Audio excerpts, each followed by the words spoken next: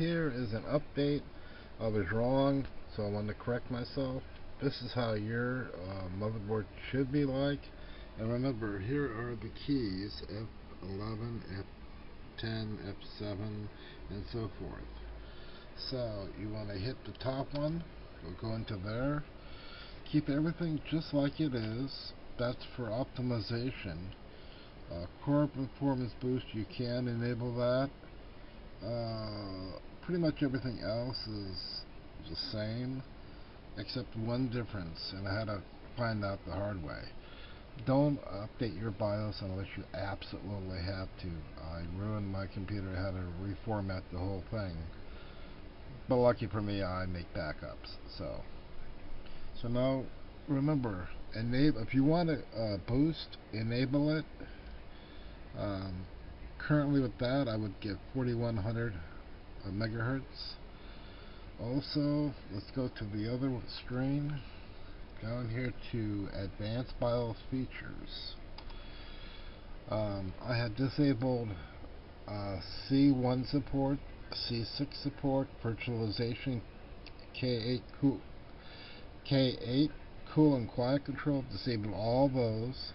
And you want to set the CPU core to manual that'll disable one core per unit and that'll enable all six cores or eight cores depending on your processor. But basically that's what you want to have.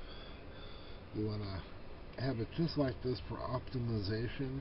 This is not overclocking but it runs now and it doesn't kind of feel like you're treading water. Basically I didn't have all the cores enabled and it felt like uh, you know the jitter or stop and go. So you want to make sure that this right here is disabled.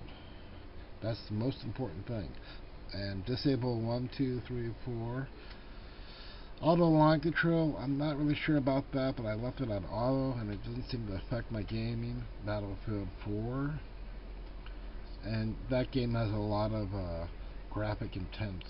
So I just wanted to show everybody that I did make uh, some errors and I did correct this with this new video. This is with my camera. It's a Kodak.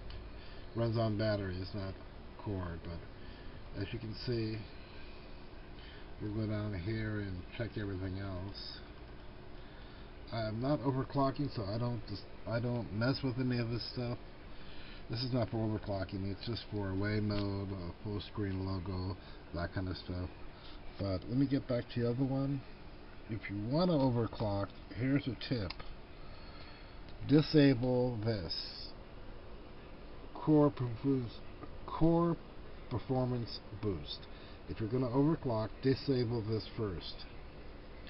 And without me knowing too much about overclocking, in, uh, Windows 7 did not like it. I had it at 4400 or 22 times.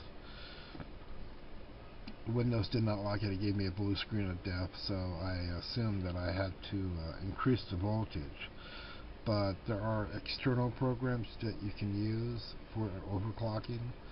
Just, is just uh, an update since I made a mistake on the last video.